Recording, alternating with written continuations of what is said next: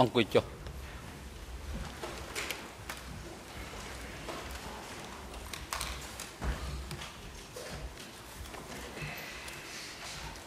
អង្គជំនុំជម្រះប្រកាសបន្តកិច្ចដំណើរការនីតិវិធីសមនការនៅថ្ងៃនេះអង្គជំរះនឹងបន្ត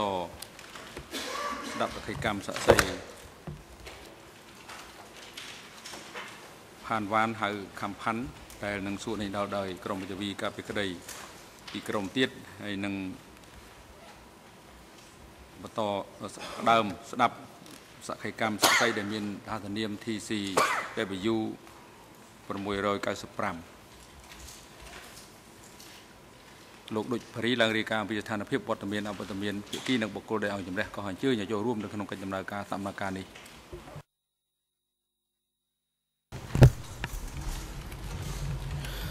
សូមគោរពនិងសូមជម្រាបលោកប្រធាន នៅក្នុងសកម្មភាពថ្ងៃនេះថ្ងៃទី14ខែធ្នូឆ្នាំ2012គ្រប់ភាគីទាំងអស់នៅក្នុងរឿងក្តីនេះ មានវត្តមាន លើកលែងតែជនជាប់ចោតអៀងសេរី មានវត្តមានពីបន្ទប់ឃុំខ្លួន នៅខាងក្រោមសាលសកម្មភាពដោយមូលហេតុសុខភាពលោកមេធាវីជាតិ ការពីក្តីឲ្យលោកអៀងសេរីលោកអាងឧត្តមបានជូនដំណឹងថាគាត់នឹងអវត្តមាននៅថ្ងៃនេះដោយមានធុរៈផ្ទាល់ខ្លួននេះព្រឹកនេះអង្គជំនុំជម្រះនឹងបន្តស្ដាប់នៅសក្ខីកម្មរបស់សាក់សីលោកខំផាន់ដែលមានវត្តមាននៅចំពោះមុខអង្គជំនុំជម្រះហើយសម្រាប់សកម្មភាពថ្ងៃនេះអង្គជំនុំជម្រះមានសាក់សីបំរុងមួយរូបគឺសាក់សីដែលមានរហស្សនាម TCW 695សាក់សីរូបនេះបានធ្វើសាក់សីរូបនេះ បានធ្វើសម្បត្តិនៅចំពោះមុខរូបលោកតាដំបងដែកកាលពីព្រឹកមិញរួចហើយ ហើយសាក់សីក៏បានបញ្ជាក់ផងដែរថាតាមសមត្ថភាពដែលគាត់អាចដឹង គឺគាត់មិនមានចំណងញាតលោហិតឬក៏ញាតពុនជាមួយនឹងជនជាប់ចោតឬក៏ដើមម្ដងរដ្ឋបវេនីណាមួយនោះទេសូមអរគុណលោកប្រធាន អរគុណបើជាបន្តអញមេសូមដល់វិទ្យការជូនទៅក្រមវិទ្យាការពីក្តីលោកខៀវសំផនដើម្បីបន្តតាំងទម្រង់នេះដល់ចំពោះសាកសីរូបនេះបាទសូមអរគុណលោកប្រធានសូមគ្រប់អង្គសាវនាការសាច់ថ្មីលោកផាន់វ៉ានសូមជម្រាបសួរម្ដងទៀតខ្ញុំថ្ងៃនេះនឹងសួរបញ្ចប់នៅសំណួរដែល សេះសល់សម្រាប់លោកកាលពីល្ងាចម្សិលមិញខ្ញុំបានសួរលោកពាក់ព័ន្ធទៅនឹងមន្ទីរក17នៅតំបន់105ហើយនឹងការរៀនសូត្ររបស់លោកនៅប20ប៉ុន្តែខ្ញុំនឹងសួរលម្អិតបន្ថែមទៅលើបញ្ហានេះទៀតជាបន្តនេះខ្ញុំចង់ឲ្យលោកជួយបញ្ជាក់អំពីអាយុរបស់លោកពិតប្រាកដថាតើ ឆ្នាំកំណើតដែលមាននៅក្នុងកំណត់ហេតុរបស់សហចក្រមស៊ើបអង្កេតទាំង3នេះជាឆ្នាំកំណត់ពិតប្រាកដរបស់លោកឬមួយក៏លោកតាមពិតប្រាកដលោកមានឆ្នាំកំណត់ផ្សេងទេសូមលោកជួយបញ្ជាក់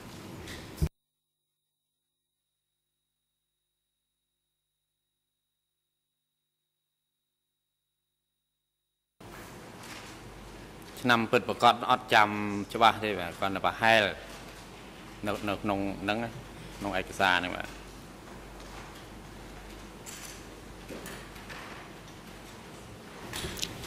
បាទសូមអរគុណតើលោកអាចចាំថាអាយុពិតប្រកបរបស់លោកច្រើនជាងនេះឬមួយក៏តិចជាងនេះ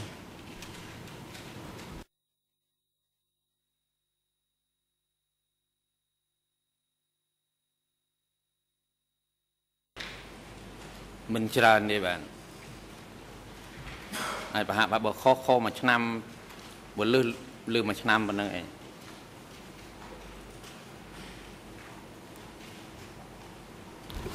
បាទសូមអរគុណតកតងទៅនឹងការរៀនសូត្ររបស់លោក នៅប20ដែលលោកបានឆ្លើយជម្រាបអង្គជំនុំជម្រះកាលពីម្សិលមិញថាលោកបានរៀនអក្សរខ្មែរហើយនឹងរៀនអង់គ្លេសលេខអង់គ្លេសលេខ ចំណុចនេះខ្ញុំចង់បញ្ជាក់តកតងទៅនឹងការរៀនអង់គ្លេសលេខរបស់លោកនោះតើតើលោករៀនពីអ្វីខ្លះនៅពេលនោះនឹងចង់បញ្ជាក់អាអង់គ្លេសលេខមិនអង់គ្លេសលេខទេបាទគឺសាររៀនបកសារតួលេខគេហៅអក្សរសម្ងាត់ឬអក្សរសម្ងាត់ប៉ុណ្ណឹងបាទបាទសូមអរមិនបែអង់គ្លេសលេខទេសូមបញ្ជាក់ចឹង បាទសូមអរគុណ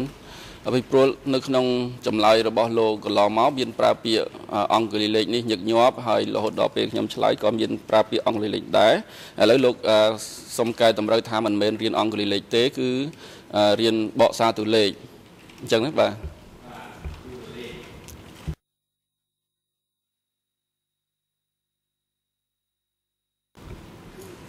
សូមលោកជួយឆ្លើយម្ដងទៀតបាទសារតួលេខបាទ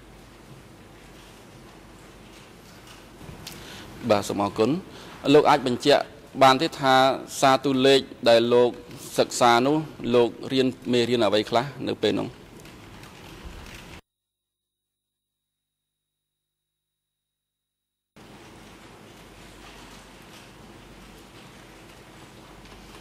អាហ្នឹងគេ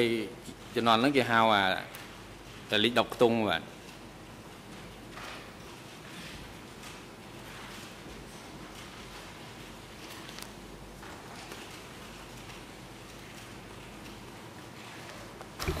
លោកអាចបញ្យល់អង្គជ្រុលជំរះបន្តិចបានទេថាលេខ10ខ្ទង់ដែលលោករៀននោះវាយ៉ាងម៉េចដែរ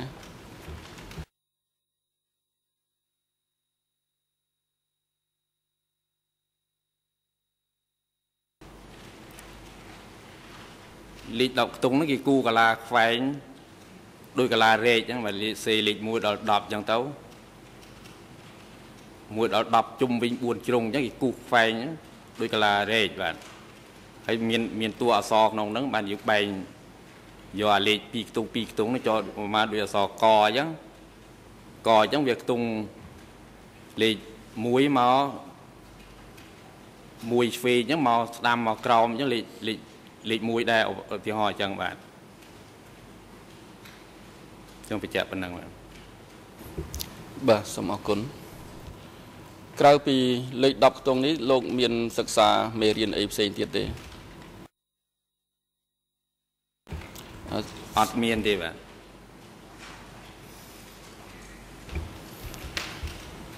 បាទសូមអរគុណ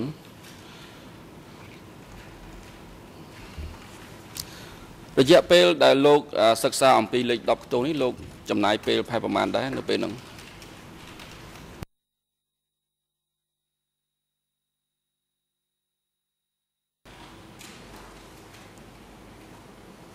ដែលមួយខែបាទ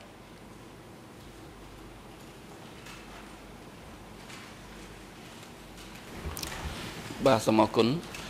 បន្ទាប់ពីការសិក្សារយៈពេល1ខែរបស់លោកនេះតើលោក មានសមត្ថភាពអាចធ្វើការបកសារបាន ត្រឹមត្រូវទេ ហើយមានការវិតម្លៃ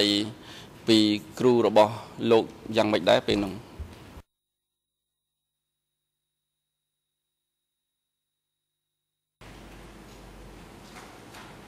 ចំនួនហ្នឹងអត់មានការវាយតម្លៃទេបើចេះប្រើឲ្យខ្ញុំទៅ តៅឪពុកខ្ញុំទៅនៅស្រុកបាទ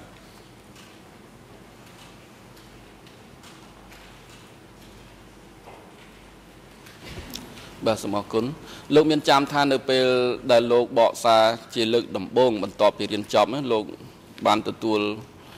ការណែនាំយ៉ាងម៉េចដែរ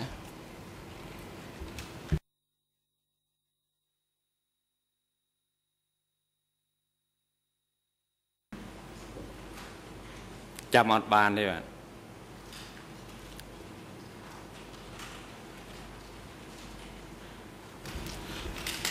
បាទសូមអរគុណឥឡូវខ្ញុំសូមសួរលោកតាក់ទងទៅនឹងក17មន្ទីរក17ដែលលោករស់នៅទីនោះដែលលោកបានឆ្លើយពីម្សិលមិញថាពីឆ្នាំ1974រហូតមកដល់ឆ្នាំ1977លោកបានរស់នៅមន្ទីរក17 តំបន់105ខ្ញុំចង់សួរបញ្ជាក់លោកថានៅពេលដែលលោករស់នៅក17នោះមន្ទីរក17នោះលោកធ្វើអ្វីខ្លះមានទូនាទីធ្វើអ្វីខ្លះនៅពេលនោះ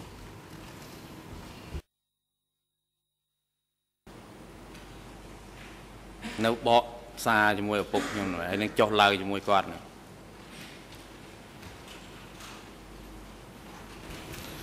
បាទសូមអរគុណខ្ញុំសូមបញ្ជាក់សារជាថ្មីថាក្នុងចន្លោះឆ្នាំពី1974ដល់1977នោះគឺលោកនៅធ្វើការជាអ្នកបកសារនិងនៅជាមួយឪពុកលោកជាប់រហូតអញ្ចឹងត្រឹមត្រូវទេត្រឹមត្រូវហ่ะបាទសូមអរគុណលោកអាចអាបញ្ជាក់អំពី មន្ទីរផ្សេងផ្សេងទៀតដែលស្ថិតនៅក្រោមអូវាទរបស់អាមន្ទីរក17នៅតំបន់105នោះដែរទេ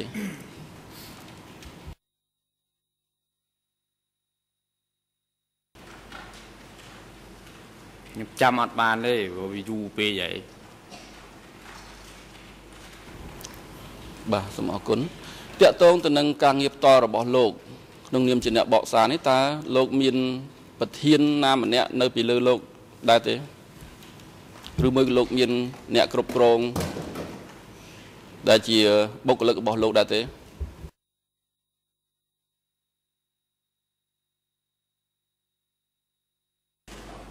មានប្រធានមន្ទីរបាទ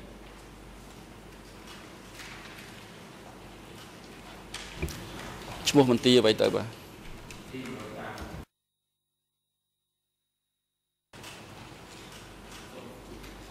សូមជួយឆ្លើយម្ដងទៀតមន្ទីរក17ហ្នឹងបាទ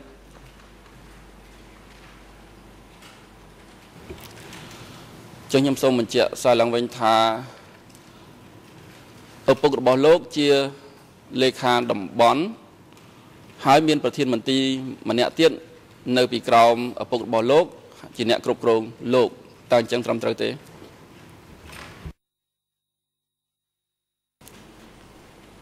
ត្រឹមត្រូវបាទ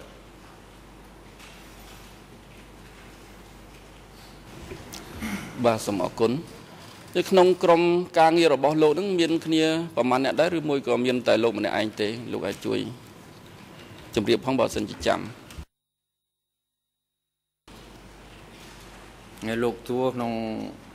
អ្នកបកសារតួលេខនេះក៏ក៏យ៉ាងណាបាទបាទតួលេខ បាទសូមអរគុណគឺនៅក្នុងក្រុមការងារអ្នកបកសារតួលេខរបស់លោកហ្នឹងបាទសូមសូមលោកជួយបញ្ជាក់មានគ្នាប្រមាណអ្នកដែរ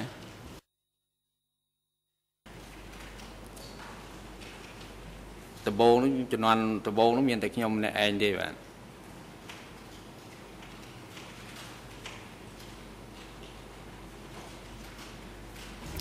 រហូតដល់ឆ្នាំណា មានគ្នាហើយមានគ្នាថែមទៀតហ្នឹងមានប្រមាណអ្នកដែរ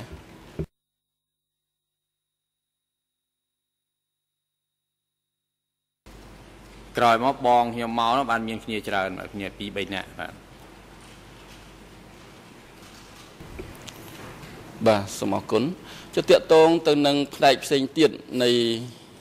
នៃមន្ទីរក17ហ្នឹងមានអ្នកខាងវិទ្យុតាកតងឬអ្នកដែលទទួលសញ្ញា Telegram Telegram សារទូរលេខនឹងដែរទេ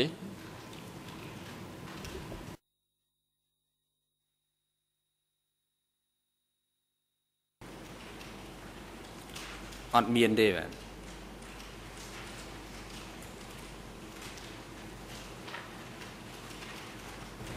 បាទសូមអរគុណចុះលោកអញ្ចឹងបានន័យថាអត់មានអ្នកដែលកាន់វិទ្យុសម្រាប់ទទួលសញ្ញាហ្នឹងទេហើយអ្នកដែលទទួលសញ្ញាហ្នឹងជាអ្នកណាដែរលោកអាចប្រាប់បងផាត់អ่าប្រាប់ផងបានទេជាលោកផ្ទាល់ឬមួយក៏អឺជាប្រធានមន្ទីរ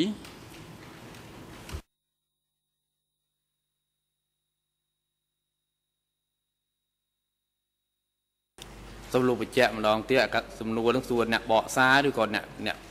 អ្នកកាន់វិទ្យុតាក់តងបាទខ្ញុំសួរខាងផ្នែកផ្សេងទៀតនៅក្នុងមន្ទីរក17មិនមែនអ្នកបកសារទេ គឺអ្នកខាងកាន់វិទ្យុពីព្រោះមុនមិញលោកឆ្លើយថាលោកជាអ្នកបកសារហើយពុំមានអ្នកណាផ្សេងទៀតទេ គឺរហូតដល់អាក្រោយមកបានមានបងស្រីរបស់លោកមកជួយ អញ្ចឹងខ្ញុំសួរថាតើមានអ្នកកាន់វិទ្យុដែលជាអ្នកទទួលសញ្ញារលកធាតុអាកាសនៃអាទូរលេខហ្នឹងនៃសារទូរលេខហ្នឹងបាទជាលោកផងដែរឬមួយជាប្រធានមន្ទីរជាអ្នកទទួលខុសត្រូវឬមួយមានបុគ្គលណាផ្សេងទៀតជាអ្នកទទួលខុសត្រូវផ្នែកនេះ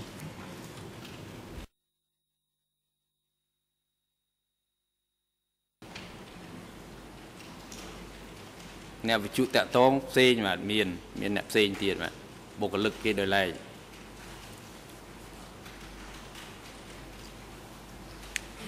បាទសូមអរគុណ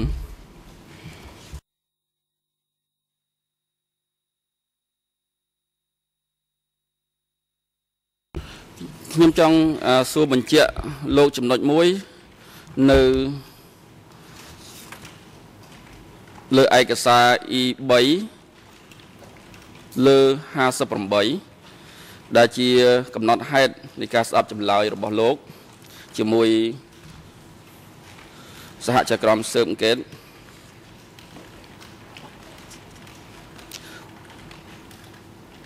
ត្រង់លេខ ERN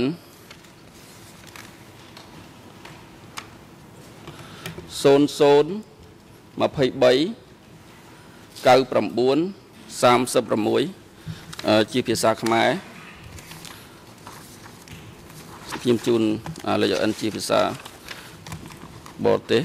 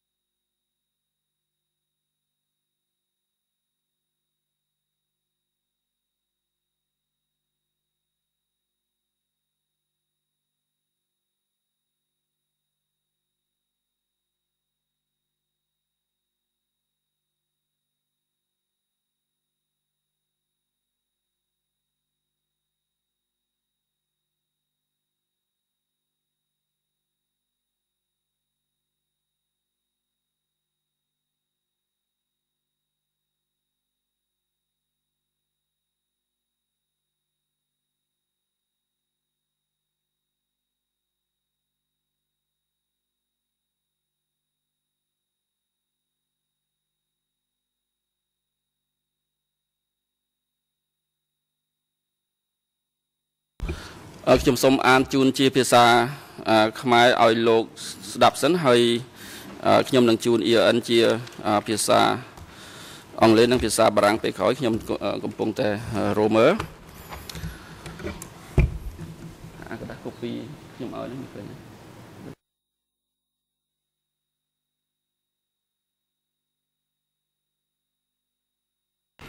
ខ្ញុំសូមអានជូនលោកហើយលោកស្ដាប់នេះសិនខ្ញុំនឹងជូនជីវ EN ទៅសហភាពតាក្រោយទៀតនៅក្នុងអត្ថបទនេះវាជាទំព័រ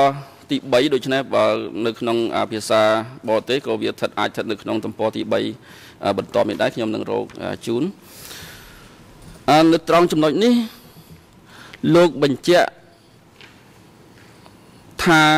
ឆ្នាំ1000ខ្ញុំសូមអានជូនឆ្នាំ1975ដល់ចុងឆ្នាំ1977ខ្ញុំបានទៅភ្នំក្រោលទៅនៅភ្នំក្រោលត្រង់មន្ទីរក17ដែលជាមន្ទីររបស់គណៈខេត្តចំណុចដែលខ្ញុំចង់សួរបញ្ជាក់លោកនេះគឺត្រង់ពាក្យគណៈខេត្តថាតើនៅក្នុងសម័យនោះពេលនោះ គេប្រើពាក្យគណៈខេត្តឬមួយក៏គេប្រើជាតំបន់ឬក៏ជាគណៈស្រុកអ្វីផ្សេងក្រៅពីនេះសូមលោកជួយបញ្ជាក់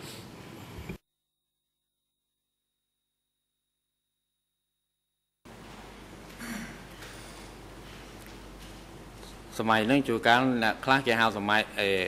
គណៈតំបន់បាទតែខ្លះគេហៅលេខាតំបន់លេខា 105អីចឹងទៅបាទវាអត់មានភាសាណាជាផ្លូវការច្បាស់លាស់ទេទៅបញ្ជាក់ប៉ុណ្ណឹងតាមការនិយាយបាទបាទសូមអរគុណខ្ញុំសូមបញ្ជាក់លេខ ERN ត្រង់ចំណុចដែលខ្ញុំអានមិញនេះភាសាអង់គ្លេស0025 0088ភាសាបារាំង0028 39 14សូមអរគុណ បាទចឹងខ្ញុំសូមបញ្ជាក់ឡើងវិញថាពាក្យថាគណៈខេត្តនេះគឺ มันច្បាស់លាស់ទេมันมันប្រកាសថាជាគណៈខេត្តទេអាចជាគណៈតំបន់ទៅវិញទេអញ្ចឹងត្រឹមត្រូវទេ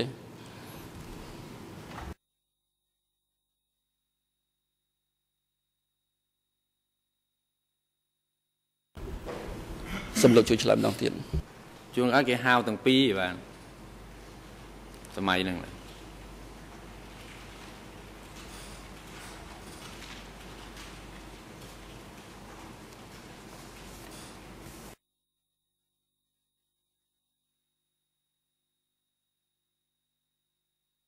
បាទសូមអរគុណនៅត្រង់លេខ EON ដដែលនេះទាំងភាសាខ្មែរនិងភាសាអង់គ្លេសបារាំងចុះមកក្រោមបន្តិចមកនៅសំណួរបន្ទាប់លោកបានឆ្លើយថាខ្ញុំសូមអានជូនចំពោះបញ្ហាចំពោះសំទោសចំពោះការបញ្ជាពីថ្នាក់មជ្ឈិម មកមន្ទីរក17ឲ្យចាប់ខ្លួន មិនដែលមានទេតើលោកនៅគ្រប់គ្រងចំពោះចម្លើយរបស់លោកបែបនេះទេ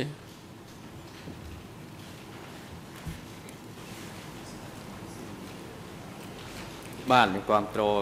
អានឹងអត់មានទេកាលជំនាន់ខ្ញុំនៅអត់មានសារទូស្លេកណាឲ្យមកចាប់ខ្លួនមកនេះអត់ទេបាទមានតែហៅទៅធ្វើការ ដូចខ្ញុំអត់បញ្ជាក់អញ្ចឹងហៅធ្វើការទៅបាត់ខ្លួនបដ ாய் ទៅអញ្ចឹងបាទសូមអរគុណតើលោកអាចបញ្ជាក់ថាលោកដឹងច្បាស់ថាអត់មានសារទូលេខក្នុងសម័យដែលលោក នៅធ្វើការកមន្ទីរក17នោះបានយ៉ាងម៉េចដែរលោកអាចអះអាងបែបនេះបានដោយសារអីឧទាហរណ៍ថា លោកជាអ្នកទទួលសារទាំងអស់ឬមួយក៏មានសារខ្លះក្នុងចន្លោះពេលនោះលោកមិនបានទទួលទេដែលអាចការអាចនាំឲ្យការអះអាងរបស់លោកនេះមានបញ្ហាដែរទេ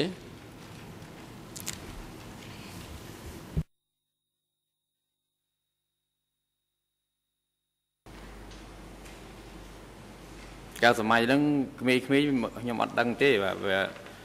អសរសម្ងាត់គេដូចខ្ញុំបញ្ជាក់អញ្ចឹងអសរសម្ងាត់ណាលីលីសម្ងាត់ខ្លាំងគេ ដឹងតែរវាងខាងលើនិងខាងលើទេបាទហើយមួយទៀតវាគេហៅមកធ្វើការអីយ៉ាងណាអីយ៉ាងណាខ្ញុំមិនដឹងបាទខ្ញុំចង់បញ្ជាក់ប៉ុណ្ណឹង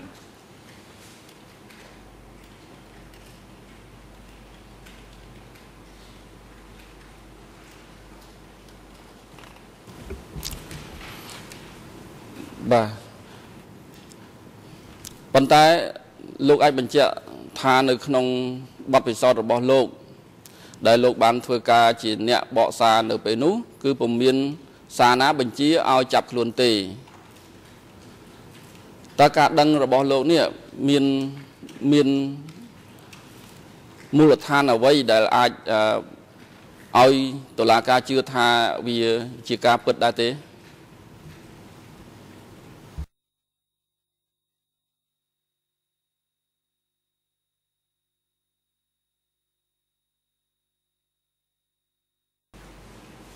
កាលខ្ញុំនៅធ្វើការហ្នឹងវាបើថាមានវាឃើញឃើញអសរអានដឹងថាមានហើយបាទវាអត់តែបាទសូមអរគុណខ្ញុំអស់សំណួរសូមឲ្យសហភាពតាបន្តសូមអនុញ្ញាតលោកធានបាទសូមអញ្ជើញបាទ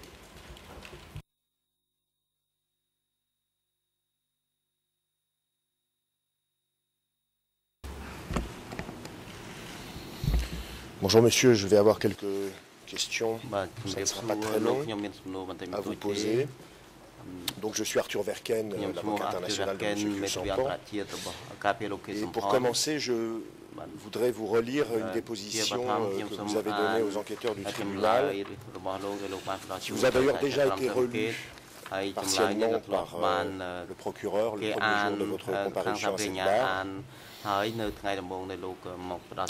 C'est la première déposition que vous avez faite avec les enquêteurs du tribunal le 21 novembre 2008. Elle est cotée E3 barre 58 et le passage que je vais lire porte les références suivantes RN français 002 8 3 9 1 5. គឺ EN ជាភាសាខ្មែរគឺ Et 0020 ERN Khmer បារាំងគឺថា00 0028 39 05ហើយជាភាសាខ្មែរគឺ002399លោកវិធានខ្ញុំតាម EN ជាភាសាខ្មែរអត់ទាន់លោកវិធានសូមឲ្យគាត់អានជាភាសាខ្មែរម្ដងទៀត Je répète car j'ai parlé trop vite.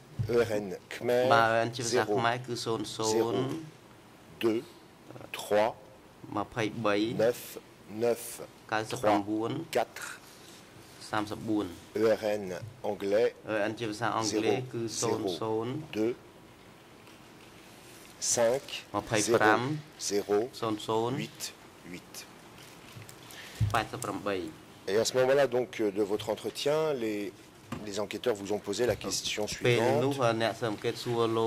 Je à qui et à quel bureau votre travail de dactylographie secrète envoyé au comité central s'est-il adressé? តើអឺកលោក Voilà ce បញ្ que vous ជូន répondez. Telegram តើ La ការងារអ plupart ង់គ្ du លេស temps, សម្ងាត់របស់លោក j'envoyais les ផ្ញើទៅ dactylographies ខាងមជ្ឈិម confidentielles នោះ au bureau អឺមាន 870. ផ្ញើទៅអ្នកណាខ្លះនៅមន្ទីរណា Si c'était les questions de ខ្ញុំច្រើន matériel, ផ្ញើទៅមន្ទី de រ santé, 807ក្នុង d'action sociale, នោះអឺប្រសិនបើមានការងារសម្ភារៈ et និង celle សុខ en អឺ dehors de la question សុខាភិបាល de ក៏ស sécurité. ង្គមកិច្ចនិងខាងការ Il fallait taper des écritures normales, non confidentielles, et les envoyer à Kyo alias M. Et quand il donnait des directions, il me les renvoyait, il y apposait sa signature et marquait son nom M. Par exemple, quand il organisait le ឧ travail ទាហរណ៍ដូច pour ជា les ពេលដែល régions, គាត់អឺចាត់ចែ la ង région មកតំបន់ 417 devait ខាង ordonner au តំបន់ secteur de commerce គណៈ ou ក d'économie 17ត្រូវចាត់ចែងទៅខាងពាណិជ្ជកម្មឬខាងអឺសេដ្ឋកិច្ច d'aller prendre au comité ឲ្យទៅ central យក le សម្ភារៈ matériel tel que នៅមជ្ឈិម carburant, ដូចជា des ប្រេង machines, ឬក៏ des pièces អឺ détachées, ប្រេងនិង des គ្រឿងចាក់ médicaments, ថ្នាំពេទ្យក្រណាត់ du tissu.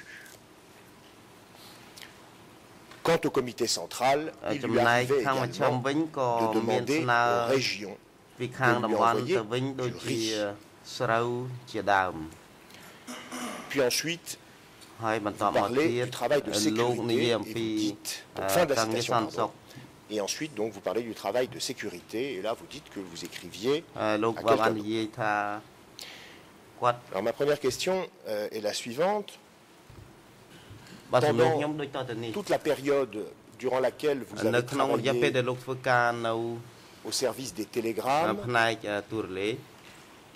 est-ce que euh,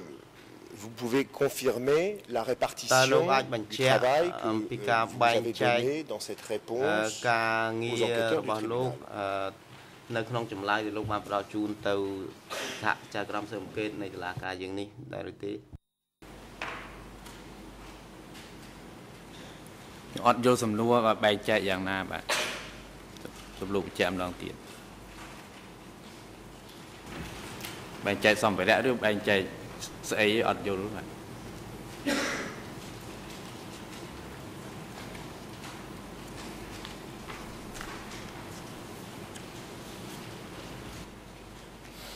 déposition et je បាទ vous ខ្ញុំ demande si ទើប vous តែ êtes encore អាន d'accord ចម្លើយរបស់ aujourd'hui លោក avec cette អំបញ្ញមិញ déposition ថា que តើ je viens de លោក vous អឺ lire. ណែយល់ស្របនឹងចម្លើយដែលសម្រងដែលខ្ញុំអានជូនលោកអំបញ្ញមិញដែរឬទេនេះនឹងជាចម្លើយរបស់លោកហើយមិញលោកសួរថាបែងចែកហ្នឹងខ្ញុំអត់យល់អត់អត់យល់រឿងបែងចែកតាមចម្លើយហ្នឹងខ្ញុំឯកភាពហើយបាទ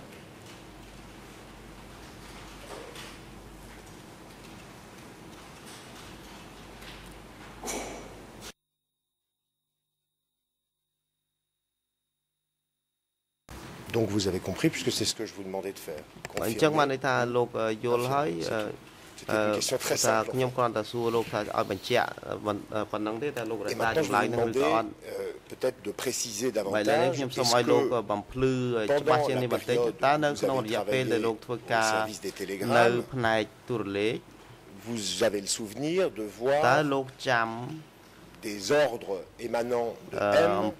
M concernant spécifiquement le riz. តកតងទៅនឹងស្រូវដែរឬទេ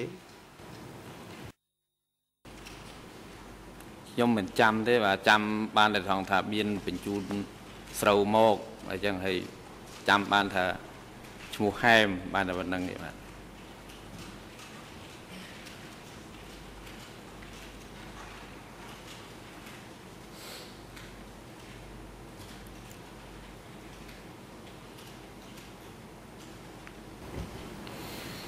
D'accord. Est-ce que M se préoccupait, c'est-à-dire que que les choses soient claires, euh, se préoccupait, euh, échangeait des télégrammes euh, concernant la sécurité. Les questions de sécurité, l'arrestation, le type de sécurité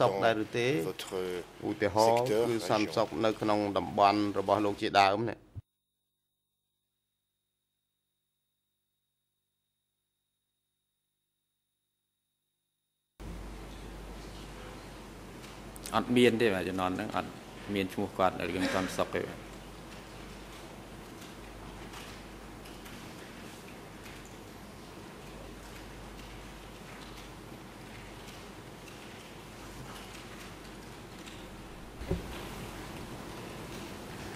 Lorsque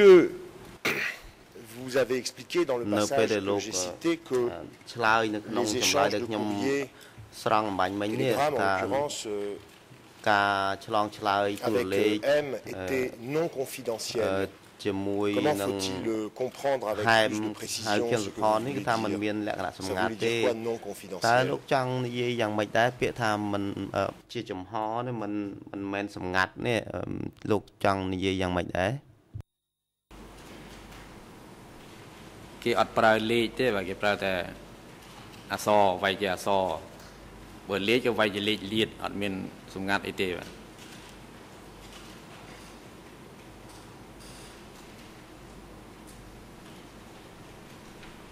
នេះចង់បញ្ជាក់ប៉ុណ្ណាបើថាលោកអត់យល់លេខលៀតហ្នឹងបានន័យថាលេខដែលយើងរៀននៅសាលា អ្នកណាក៏ស្ដាប់បានដែរអញ្ចឹងហើយអសក៏ចឹងដែរវាយជាអសអញ្ចឹងអសកតអីតារាងហ្នឹងអ្នកអ្នកទូទៅក៏ដឹងដែរអ្នកដែលរៀនខាងហ្នឹងចង់បញ្ជាក់អញ្ចឹងបាទ បើដល់សម្ងាត់ទោះបីតែអ្នករៀនក៏អត់ដឹងដែរសូមបញ្ជាក់ប៉ុណ្ណឹង Et vous avez vu euh, passer de telles lettres euh, à l'époque où vous avez travaillé au service des télégrammes បែបហ្នឹងដែរឬទេនៅពេលដែលលោកធ្វើការនៅផ្នែកទូរលេខនៅពេលនោះនោះ confidentiel de ចង់និយាយថាសម្បត្តិដែលមិនសម្ងាត់របស់ហែមហៅខៀនផននេះណា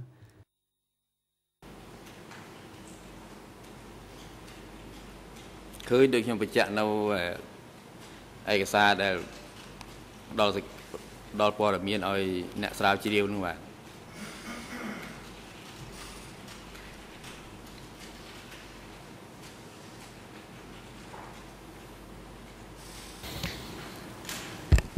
Je vous remercie. បាទសូមអរគុណ Je voudrais vous demander une précision បាទ sur ខ្ញុំ un សូម point ការបំភ្លឺមួយទៀត qui va peut-être vous sembler un petit ត peu កតងនឹង bizarre. ចំណុចមួយដែលប្រហែលជាលោកគិតថា C'est sur une ចម្លែក expression. តគឺថាតកតងនឹង Euh, J'ai remarqué que ពាក្យពេចន៍ dans មួយ certains télégrammes សំនួនវោហា qui vous មួ ont យ été គឺ présentés, ថានៅក្នុងទូរលេខដែលគេ le បាន télégramme បង្ហាញ commence ជូនលោកនោះ par គឺ euh, bureau 870 bien aimé. Et français. Bureau ហើយ870ជា bien ក aimé ណាសំ sonne un ពា peu ក្យពេចន៍នេះ bizarrement. ជាភា parce សា que បារាំងនេះគឺថាមើលទៅដូចជាមិនទំនងតទៅសោះ quand on s'adresse Regarde, comme cela, c'est à euh, une personne. bureau pas un 870 bien aimé អានឹង Est-ce que, ថាមើលទៅដូចជាមនុស្សយ៉ាងម៉េច Vous êtes ប្រើ en ពាក្យ mesure ហ្នឹង de nous éclairer sur អ euh, ញ្ចឹងតើលោកអាចបំភ្លឺ nature et la បានទេ raison de អំពី cette ខ្លឹមសារ expression, ជាក់លាក់អំពីអឺ Bureau ពាក្យដែលគេហៅ bien នេះ aimé. មន្ទីរ 707ជាទី807ជាទីស្នេហានេះ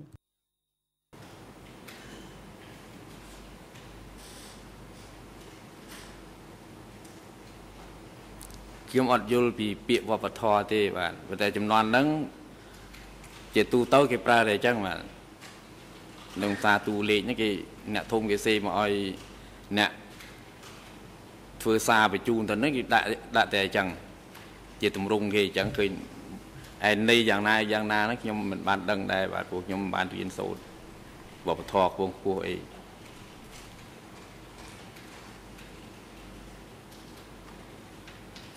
ខ្ញុំសូមបញ្ជាក់ប៉ុណ្្នឹងបាទ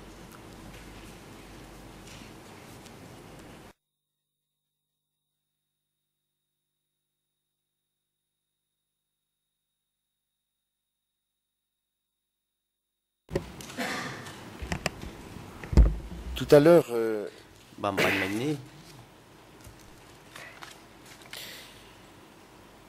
alors non, plutôt je vais je ne vais pas faire référence à tout à l'heure, mais je vais faire référence à មិនមែនយកទៅបាញ់មិញទេគឺថាសូមយកទៅការចម្លើយអ្នកផ្សេងទៀតក្រៅពីលោកដែលមកប្រតិកម្មនៅទីនេះ demander, poser la même question sur la signification de cette expression. Et je fais référence spécifiquement à l'accord E1 bar 851 85 plutôt ERN français 008 2 3 Khmer ជាភាសាខ្មែរ00 8 1 6 7 2 2 et anglais ជាភាសាអង់គ្លេសគឺ00 81 7 5 3 6 3 6 Il s'agit de la déposition à cette barre d'un témoin ផ្ដល់សកម្មរបស់សាក្សីម្នាក់ដែលមានជំនាញខាងទូរលេខដែរហើយខ្ញុំធ្លាប់សួរទៅគាត់នៅខ្លឹមសារពាក្យពេចន៍មួយគឺថាជូនមន្ទីរ 807ជាទីគោរពស្នេហា Et à chaque exemple que j'ai proposé à ce témoin រាល់ឧទាហរណ៍ដែលខ្ញុំបង្ហាញគាត់នោះគាត់ឆ្លើយតបមកខ្ញុំវិញថាតាមការពិតទៅទូរលេខទាំងអស់នេះសុទ្ធតែផ្ញើទៅប៉ុលពតទេ Vous seriez d'accord avec ce témoin លោកយល់ស្របជាមួយសាកសីនេះដែរឬទេឬក៏លោកនៅតែមិនយល់អំពីខ្លឹមសារជាក់លាក់នៃពាក្យដែលថា គោរពជូនមន្ទីរ807ជាទីគោរពស្នេហា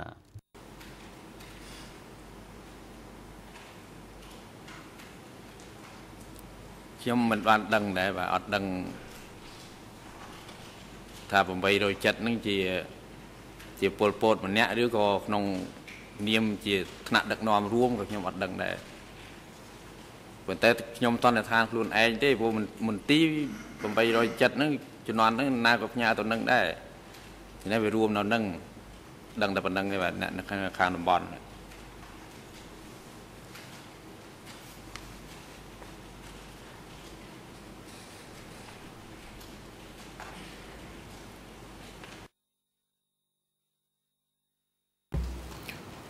En tout cas, vous, lorsque vous avez adressé លោកផ្ទាល់នៅពេលដែលលោក encrypter des télégrammes adressés à monsieur Pieux Sampan vous les adressiez បំផន់អក្សរាទូរលេខដើម្បីផ្ញើជូនទៅខៀវសំផននេះគឺថាលោកដាក់ឈ្មោះហែមមែនទេត្រឹមត្រូវបាទ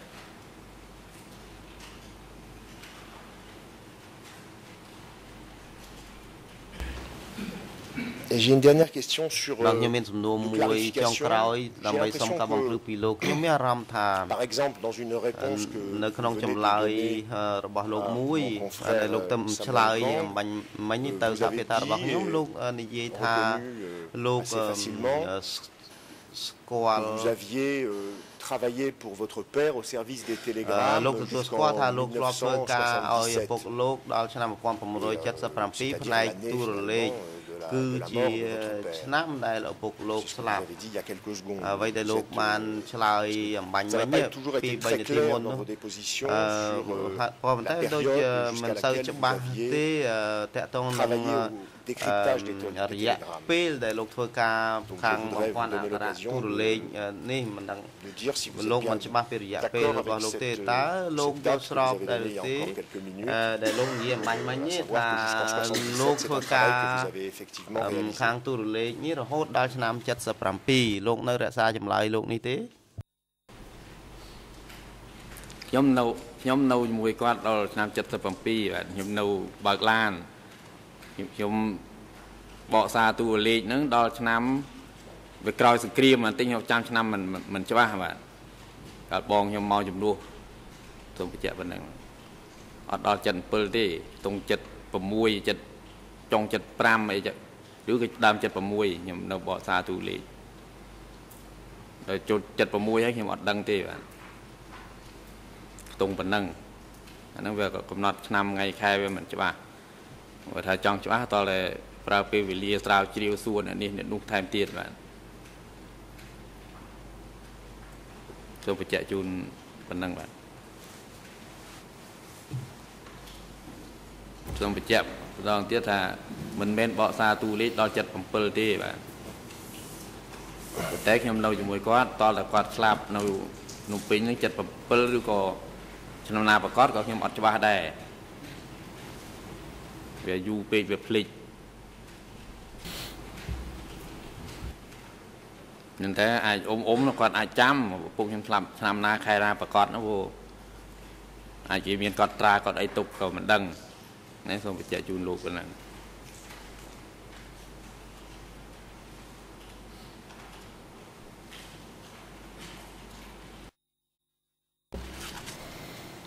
Et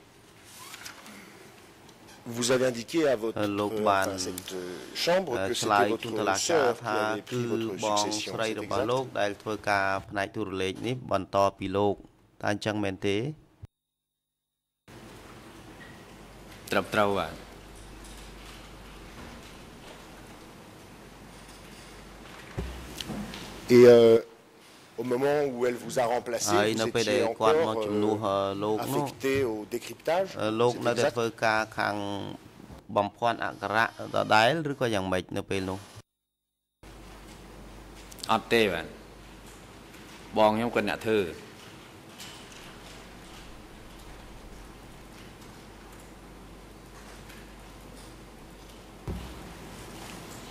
Oui, mais au moment où elle est arrivée, c'est à ce moment-là que vous êtes parti. De votre départ et son arrivée ont elles coïncidé ថាលោកចេញតើអញ្ចឹងទេថាគាត់មកដល់ភ្លាមលោកចេញភ្លាមត្រឹមត្រូវបាទ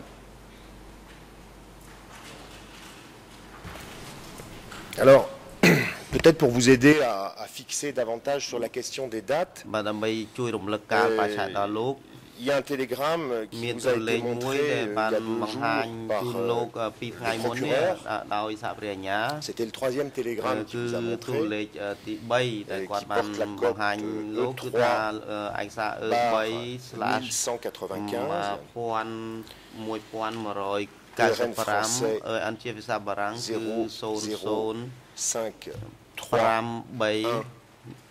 0 8 8 ERN Khmer ជាភាសាខ្មែរគឺ00 57 57 9 29 6 et ERN anglais ហើយ ERN ជាភាសាអង់គ្លេសគឺ00 5 1 5 1 9 1 9 C'est un télégramme daté du 25 novembre 1976. Le procureur vous a ខែវិច្ឆិកាឆ្នាំ1976សហប្រញ្ញាបានសួរលោក adressé au camarade Pong par votre père ទូរលេខនេះដែលផ្ញើជូនដល់សមាមិត្តប៉ងដែលលោកផ្ញើជូនពុកលោកនោះផ្ញើជូនប៉ងហើយលោកបានឆ្លើយថា បងរបស់លោកឈ្មោះបុផាន់ទេដែលជំនួសលោកនៅពេលនោះធ្វើការនៅផ្នែកទូរលេខនេះតែអញ្ចឹងមែនទេគឺបងស្រីលោកដែលឈ្មោះបុផាន់ហ្នឹងហើយមែនទេត្រឹមត្រូវហ่ะ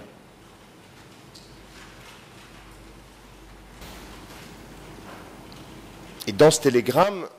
du 25 novembre 1976 votre père រលេខនេះដែលចុះថ្ងៃទី25ខែវិច្ឆិកាឆ្នាំ1976អឺពុកលោកនោះប្រាប់ប៉ង់ថាសូមឲ្យបងរបស់លោកនោះទៅរៀនទូរលេខបើយើងជឿចុះទៅរៀនឯកសារសំខាន់អញ្ចឹងបើយើងជឿនឹងឯកសារនេះគឺថានៅថ្ងៃ25ខែ11ឆ្នាំ1976 អឺបងស្រីរបស់លោកមិនទាន់ទទួលការបណ្ដុះបណ្ដាលផ្នែករៀនឯកសារសម្ងាត់ទេតើនេះព័ត៌មានដែលខ្ញុំអ្វីដែលខ្ញុំរៀបរាប់ប្រាប់បំបញ្ញមិញនេះអាចជួយរំលឹកលោកបានទេឲ្យចាំពីកាលបរិច្ឆេទនេះសាធិមកអត់តឆ្លើយតបសូមជើញដំណាងសាភិញ្ញា Merci, Monsieur le Président, et bonjour à vous et à tous les juges.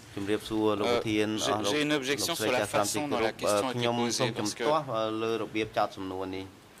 il est effectivement dit dans ce document que j'ai donc désigné Bopan pour assister à un cours sur une formation sur les, les documents confidentiels. Ça ne veut pas nécessairement dire qu'il n'y avait eu aucune formation auparavant. Ça peut être une formation continue, ça peut être une spécialisation, ça peut être d'autres motifs. Donc, je pense que la question devrait être reformulée dans ce sens. Moi, j'ai une objection sur l'objection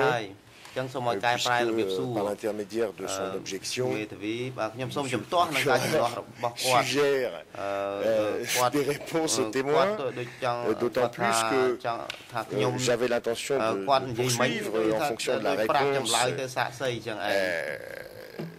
បាទខ្ញុំសូមបន្តសំណួរទៅទៀត ce qu'on a dit la sœur elle-même lorsqu'elle a été entendue donc je crois que à mon avis, monsieur le témoin peut répondre យើងនឹងសួរទៅបងស្រីគាត់នៅពេលបងស្រីគាត់មកផ្ដល់ចម្លើយនៅទីនេះឥឡូវនេះខ្ញុំសួរទៅសាកសីនេះសិនអញ្ចឹងចឹងសូមឲ្យគាត់ជួយធ្វើការសន្និដ្ឋានទាញការសន្និដ្ឋានពីទូលេខនេះសិនទៅចាំពេលដែលបងស្រីគាត់មកខ្ញុំសួរគាត់ទៀតសាកសីមិនអាចផ្ដល់ចម្លើយតាម ជាការសន្និដ្ឋានទេលោករៀបចំទំនួលឡើងវិញដើម្បីសួរសាក់សីទៅតាមអង្គហេតុជាក់លាក់ដែលគាត់ដឹងសូមអញ្ជើញលោកមេធាវីរៀបចំទំនួលឡើងវិញហើយមិនតម្រូវឲ្យគាត់ឆ្លើយតបជាសេចក្តីសន្និដ្ឋានទេគាត់ដឹងឬក៏មិនដឹង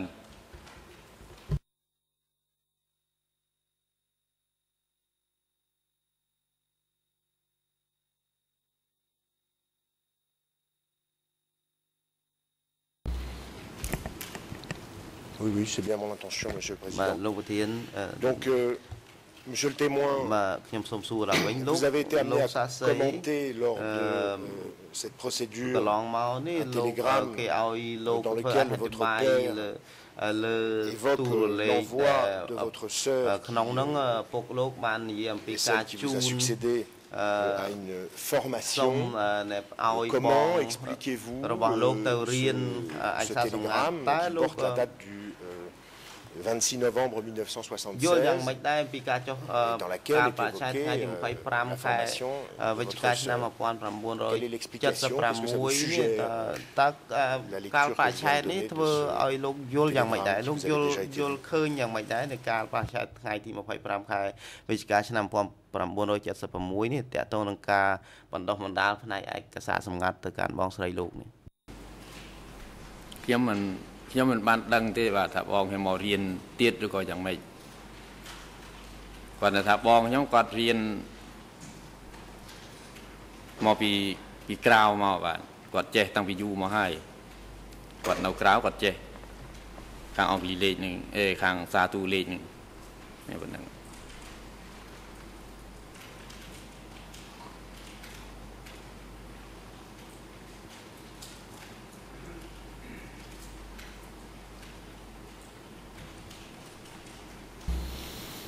Je n'ai pas d'autres questions, Monsieur le Président. លោកប្រធានខ្ញុំអស់សំណួរហើយលោកប្រធានសូមអរគុណអរគុណបើជាបន្តអញ្ចឹងសូមផ្ដល់វិធីការជូនទៅក្រមវិទ្យាការពីក្តីលោកអៀងសេរីដើម្បីមានឱកាសក្នុងការតាំងទម្រង់នេះដល់ចំពោះសាក់សី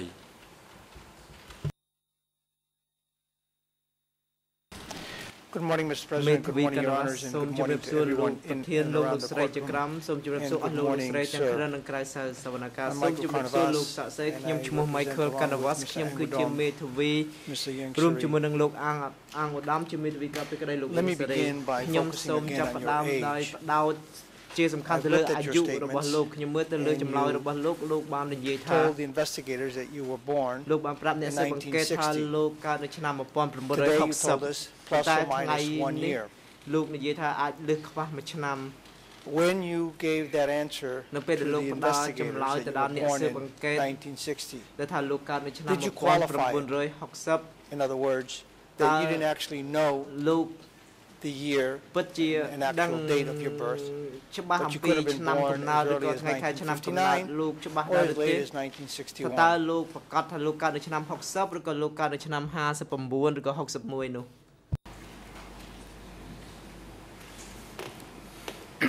បាទចំពោះសំណួរហ្នឹងខ្ញុំកាលទៅស៊ើបអង្កេតហ្នឹងក៏បានជជែកគ្នាដែរតាំងពីជំនាន់ធ្វើអតញ្ញាណបានម៉េះបានជជែកអត់ច្បាស់លាស់ទេអារឿងអាយុប្រកាសបជាហ្នឹងបាទសួរបងក៏មិនច្បាស់សួរ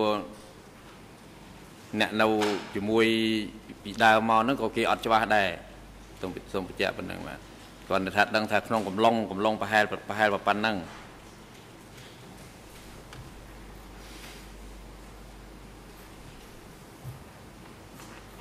All right.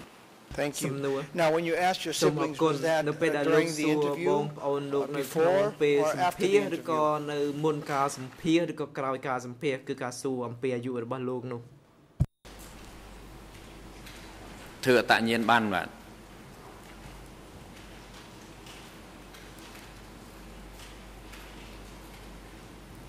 Okay, thank you. So then I goសូមអរ back to គុណ my original ឥឡូវ question. នេះខ្ញុំ Since they could បន្ត not ទៅ tell សំ you, ណួរដើមរបស់ខ្ញុំវិញ Did you ដោយសារតែ inform the បងប្អូន investigators at the របស់លោកមិន time អាច when ប្រាប់ they ពី asked អាយុ you បាន for ដូច្នេះនៅ your ពេល date of birth, ដែល did you អ្នកស៊ើប tell អង្កេត them, មកនោះ I លោក do ក៏ not know. ប្រាប់គេ It might ប៉ុន្តែ be ខ្ញុំចង់ដឹងថា 1960, តើលោក it មាន might ប្រាប់ be គេថា 59, លោកមិនច្បាស់ it might ថា be តើ 61. លោកកើតឆ្នាំ Did you 60 actually ឬ say ក៏ that? 59ឬ Would ក៏ you just- 61នោះទេ Did you just give them តើ December លោកមានប្រាប់គេថា 1960? លោកមិនច្បាស់ឬមួយក៏លោកប្រាប់ត្រង់ប្រាប់ភ្លាមតែម្ដងថាលោកកើតខែធ្នូឆ្នាំ60នេះប្រាប់ថាមិនច្បាស់បាទហើយខាងស៊ើបអង្កេតគេថាយកតាមផ្លូវការទៅតាមអតញ្ញាណបានបញ្ជាក់ប៉ុណ្ណឹងបាទ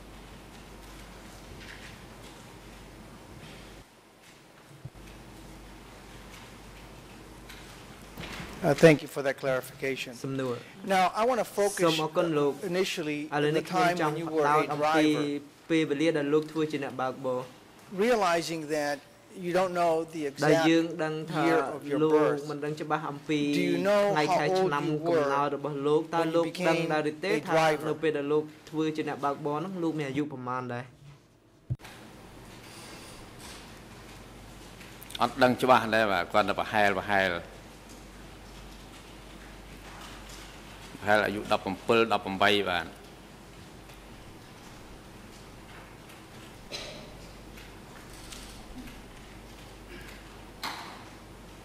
Well, could it have been 16 or 15? ដូច្នេះប្រហែលជា Since you don't know when you were 16ឬ actually ក៏ born. 15ផងដែរដោយសារតែលោកមិនច្បាស់ថាលោកកើតឆ្នាំណាអញ្ចឹងទេ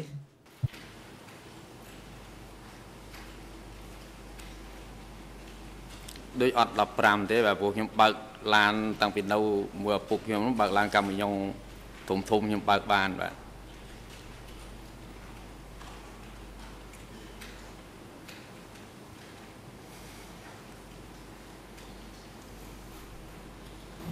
Okay, uh, is that because there was a Some new- prohibition during that period that 15-year-olds could not drive តើ big trucks? ដោយសារតែនៅ Or is it ពេលនោះ because មានច្បាប់ហាម you were ឃាត់ too ថា short អ្នកអាយុ to reach the pedals of the truck? 16ឆ្នាំមិនអាចបើកឡាន And that, ធំ that would ឬ have មួយក៏ disqualified you in being a driver. ដោយសារតែលោកគិតទៅលើកម្ពស់ទាបខ្ពស់ដែលលោកនិយាយថាលោកអាចបើកឡានធំនឹងបានតែដោយសារចំណុចណាមួយដែរចំណុចជើងខ្ញុំជន់អមយ៉ាដល់ហើយបាទហើយនឹងកម្លាំង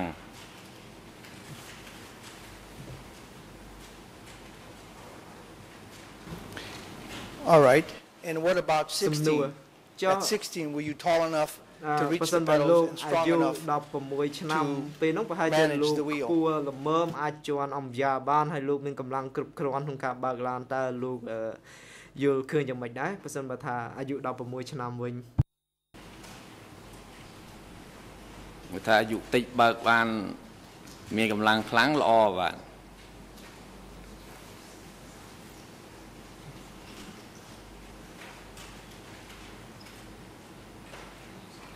Well, that doesn't answer my question. The thrust of my question actually is, is it, do you know for certain whether you were 17 or 18, or could you be as young as 16 at the time when you were driving, when you were a driver here in Phnom Penh?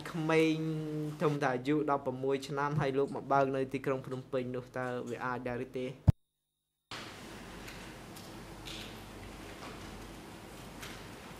ដូចមិនអាចទេបាទ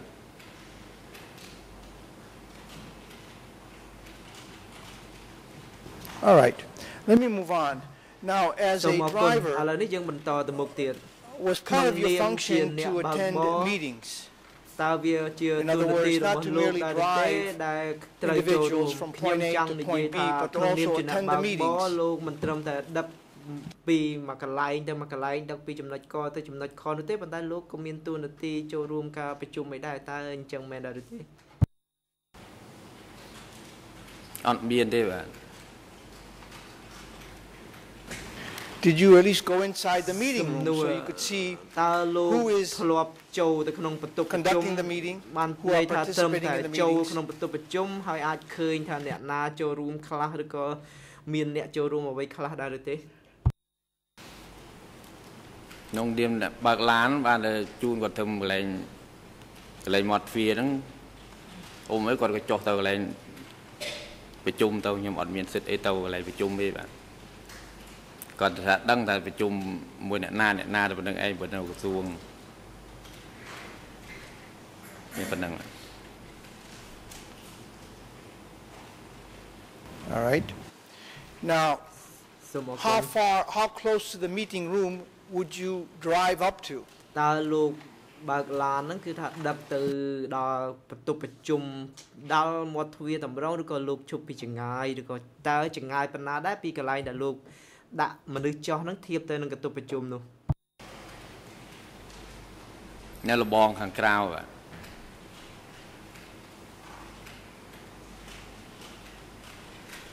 Are we speaking about the gate leading into the compound where the buildings លោកចង់និយាយ where the building where the meetings would have taken place នៃ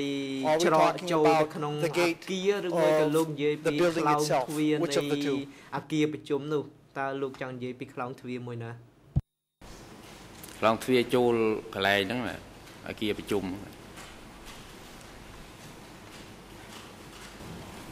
And from the outside gate of the compound, could you please tell us how far the buildings or building would have been where these meetings would have taken place? ចម្ងាយពីខ្លោងទ្វារហ្នឹងទៅកន្លែងប្រជុំគឺទៅបន្ទប់ប្រជុំហ្នឹងវាមានចម្ងាយប្រហែលប្រមាណដែរលោកអាចប្រាប់បានទេលោកសួរ វាច្រើនកន្លែងបាទវាមិនមែនតែមួយកន្លែងណាទៅទៅនេះទៅទៅនោះឈប់ទៅមាត់ទ្វារហ្នឹងគាត់ទៅទៅខ្ញុំនៅក្រៅទៅនៅយាមឡានបាទកន្លែងខ្លះឆ្ងាយទៅកន្លែងខ្លះជិតទៅអត់ទៀងទេ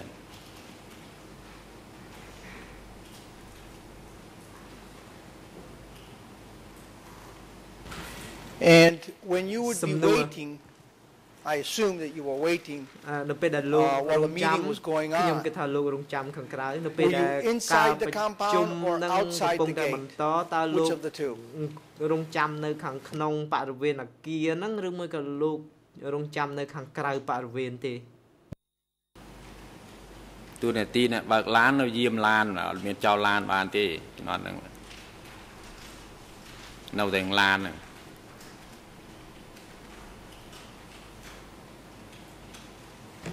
And were there walls around these compounds or fenced or just open?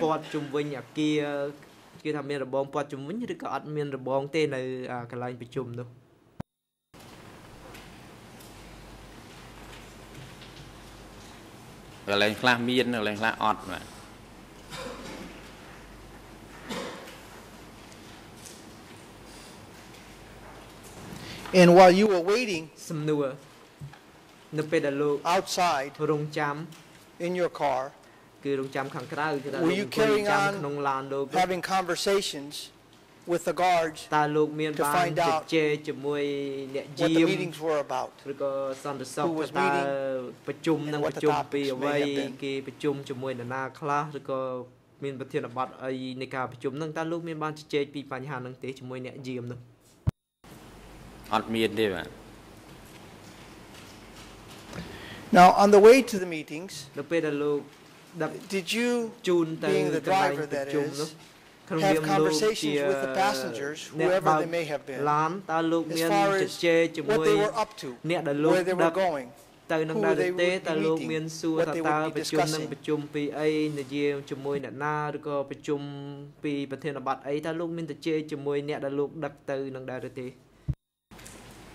អត់ទេបាទ and when the meetings ended សំ and ណួរ you had to នៅពេល drive ដែល those ប្រជុំ individuals back បញ្ to ចប់ wherever ហើយលោកត្រូវដឹ you ក were taking them did you ភ្ញៀវ engage ដឹក or អ្នក did they នឹង engage ត្រឡប់ with you មក in ក conversation ន្លែងវិញហ្នឹង to តើ give you an លោក update មានបាន as ជ to ម្រាប what may សួ have រ happened គាត់អំពី during ការ the ប្រ meeting ជុំហ្នឹងតើ who attended អ្នកដែលជិះ what ឡា was នជាមួយ spoken លោកហ្នឹង what គាត់ was មាន resolved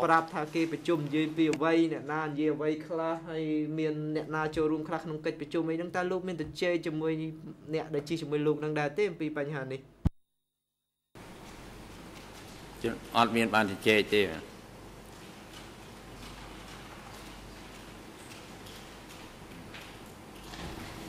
let me now switch to ឥឡូវនេះ before you ខ្ញុំ became a driver សូមលើក You យ told ក us ចំណុចមួយ of ទៀត your គឺ functions. មុន I ពេល don't ដែល wanna លោក go ធ្វើ into ជាអ្នក that. បើកបរ I just wish to touch upon a couple of ខ្ញុំ issues មិនចង់និយាយលម្អិតអំពី concerning មុខងារលោកនៅពេលនោះទេប៉ុន្តែខ្ញុំលើកយកតែ your ចំណុច father's position តូចមួយគឺតើទៅនឹង You ទូនា told ទី us that របស់ឪពុក he លោ was ក the secretary of the លោក sector បានប្រាប់ថាឪពុកលោក That's គឺជា correct. លេខាតំបន់តើត្រឹមត្រូវដែរឬទេ ត្រឹមត្រូវបាទ and that's a pretty important position is it not អឺតើទូនាទីជាលេខាតំបន់ហ្នឹងជាទូនាទីសំខាន់តើមែនដែរឬទេ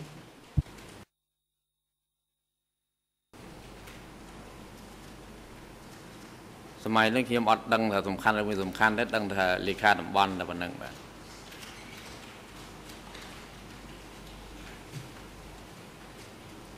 all right well help me out here now អឺសូមអ because រ you គុណ told us about decoding secret លោក messages បានរៀបរាប់ You អំ told ពី us ការ about បំភាន់ purges. អ You ក្ខរ told us កា all របោ sorts ក of ប្រែ details. ការបោសសម្អាត and I'm at a loss now ប៉ុ because ន្តែឥ now ឡូវនេះ you're ខ្ញុំ telling ដូចជា us វិញវល់ហើយ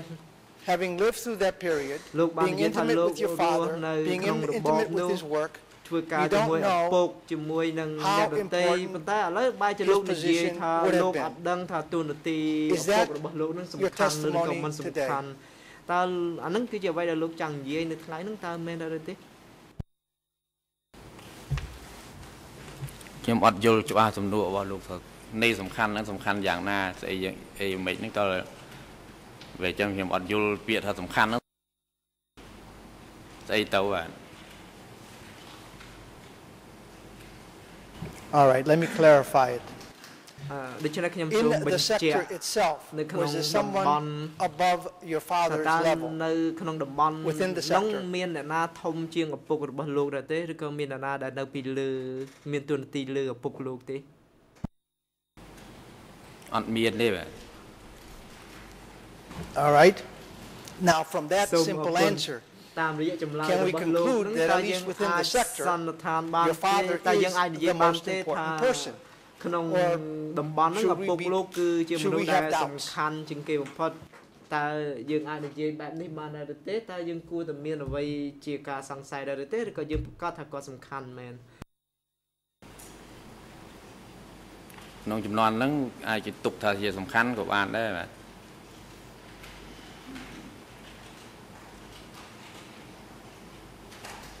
all right សំណួរ now ឥឡូវនេះ if I understand you តាមអ្វី correctly ដែលខ្ញុំយល់លោកត្រឹមត្រូវ you're នោះ doubting លោកឆ្ងល់លោកសង្ស័យ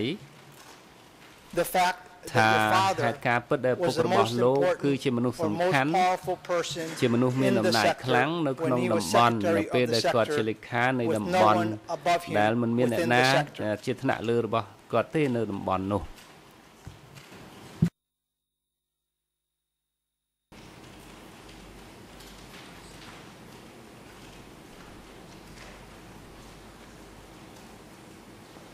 តាមទស្សនៈខ្ញុំតាំងពីសម័យគិតដល់ឥឡូវនេះថាគ្មានអីសំខាន់ទេជំនាន់ហ្នឹងបាទគាត់ថាអ្នកតួគាត់ត្រូវចំពោះបកគេតែប៉ុណ្្នឹងឯងបាទចំណុចសម័យហ្នឹងគេមិនកំណត់ថាសំខាន់ស្អីណាអត់មានទេនេះឲ្យលោកយល់ចឹងបាទ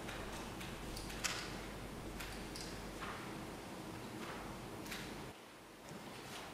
well thank you for មេធាវីសូមអរគុណដែលលោកបានធ្វើការប្រៀបធៀបប៉ុន្តែយើងចង់និយាយអំពីហេតុការណ៍នៅសម័យនោះអ្វីដែលលោកអាចគិតថាលេខាឬក៏អនុលេខាឬក៏អ្នកណាធ្វើនៅទីនេះទេយើងនិយាយកាលនោះសូមលោកប្រាប់ខ្ញុំនឹងតុលាការថាតើលោកមានការសង្ស័យដែលទេថាឪពុករបស់លោក was not មិនមែនជាមនុស្សសំខាន់មានអំណាចខ្លាំងទេនៅក្នុងតំបន់នោះទេនៅពេលដែលគាត់ជាលេខាតំបន់ជាសំណួរដែលឲ្យលោកឆ្លើយថា បាទឬក៏មិនមែនឬក៏លោកអាចឆ្លើយថាខ្ញុំមិនដឹង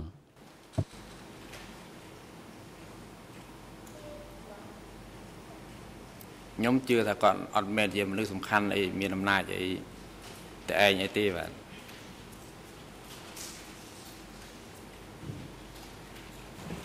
All right thank you មេធាវីសូមអរគុណ We know that ឥឡូវនេះយើងដឹងថាលោកធ្វើការឲ្យឪពុករបស់លោក and coding and decoding ហើយធ្វើការបក confidential or secret ទូរលេខហើយនឹងបំផន់អក្សរមួយចំនួនហើយសារសម្ងាត់តើឪពុករបស់លោកធ្លាប់ប្រាប់ពីមុខងាររបស់គាត់ដល់លោកទេនៅពេលដែលថាលោកធ្វើការគាត់ថាទូនាទីរបស់គាត់ជាអ្វីការងាររបស់គាត់ជាអ្វីនៅពេលដែលគាត់ជាលេខានៃតំបន់នោះអត់ទេបាទ Did your father សំណួរតើឪពុករបស់លោកនៅពេលណាមួយនោះ secret meetings ធ្វើការប្រជុំជាសម្ងាត់ជាមួយបុគ្គលណាផ្សេងមួយចំនួនដែរឬទេនៅពេលដែលគាត់ជាលេខាតំបន់នោះ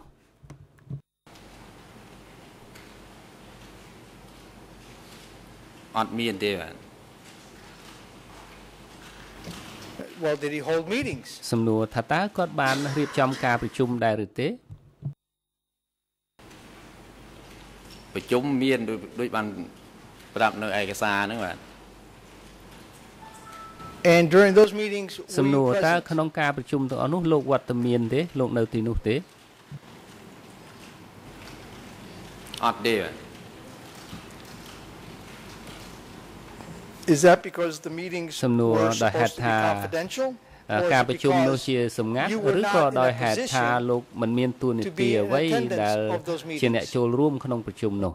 តើណាមួយបាទខ្ញុំអត់មានទួនាទីអីទេព្រោះខ្ញុំក្មេងបាទ All right well if you did not attend the meeting បាទហើយលោកមិនបានចូលប្រជុំនោះទេដោយថាលោកមិនមានទួនាទីឬក៏លោកមិនមានតំណែងអ្វីត្រូវចូលរួមប្រជុំតើឪពុករបស់លោកប្រាប់ជាមុនទេថាការប្រជុំនឹងនិយាយពីអ្វីឬក៏ក្រោយប្រជុំមកលោកគាត់ប្រាប់លោកថាប្រជុំនឹងប្រជុំពីអ្វីទេ ក្នុងករណីនោះគាត់អត់មានប្រាប់ទេបាទពួកខ្ញុំអត់មានទូនាទីអីគាត់ប្រាប់តែគ្នាគាត់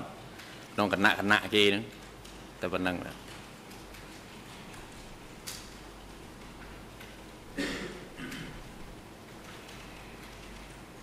Well did you ask him any questions សំណួរតើលោកបានសួរគាត់ទេដើម្បីឲ្យគាត់ប្រាប់ពីព័ត៌មានថ្មីថ្មីថាតើគាត់ប្រជុំជាមួយអ្នកណាតើប្រធានបទអ្វីគេសម្រេចអ្វីតើគេសម្រេចអ្វីហើយចេញបញ្ជាបែបណាតើលោកបានសួរបែបនោះឬគាត់ប្រាប់លោកបែបនោះដែរឬទេអត់ហ៊ានសួរទេបាទហើយក៏អត់មានបានប្រាប់អីដែរព្រោះអត់មានត្រូវការងារខ្ញុំផងបាទ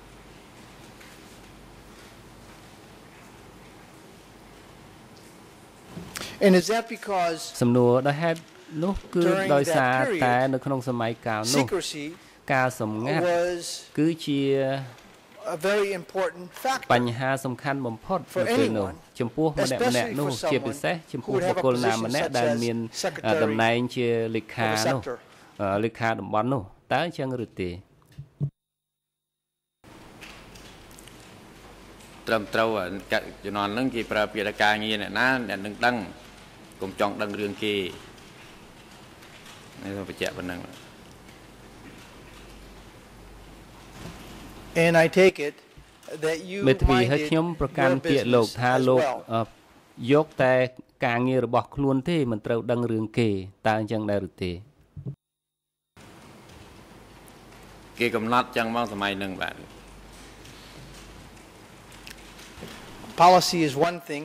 សំណួរហើយនយោបាយគឺជារឿងមួយហើយការអនុវត្តជារឿងមួយខ្ញុំចង់ឲ្យលោកឆ្លើយលោកសាក់សីតើលោកគោរពតាមមេគានយោបាយគេដែរឬទេ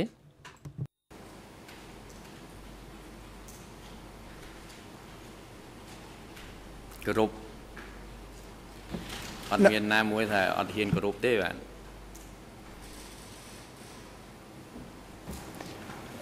Thank you មេធាវីសូមអរគុណឥឡូវនេះលោកបានប្រាប់តឡាការថាក្នុងឱកាសមួយឪពុករបស់លោកទៅភ្នំពេញហើយលោកក៏បានទៅជាមួយគាត់ក្នុងឱកាសមួយតើលោកបានអមដំណើរគាត់ចូលទៅប្រជុំនោះទេឬក៏លោកនៅខាងក្រៅទេអត់បានទៅទេបាទខ្ញុំមកភ្នំពេញមកទៅមន្ទីរពាណិជ្ជកម្មដូចខ្ញុំបានបញ្ជាក់ខាងដើមហើយ